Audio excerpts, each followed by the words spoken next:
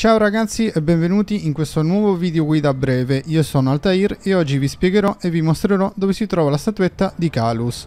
Quello che vi basterà fare è avviare recisione perdono, dopodiché vi basterà avanzare fino a quando non piazzerete l'ultimo amplificatore per aiutare Zavala. Una volta messo l'ultimo amplificatore dovrete effettuare lo stesso percorso che vedrete in video e la statuetta di Calus la troverete in alto. Detto questo, spero di esservi stato di aiuto e se fosse così vi chiedo gentilmente di lasciare un bel mi piace, di iscrivervi al canale e attivare la campanella per restare aggiornati sui prossimi e futuri video a tema Destiny 2. Io vi ringrazio per aver visto questo video e ci vediamo in un prossimo video. Ciao ragazzi!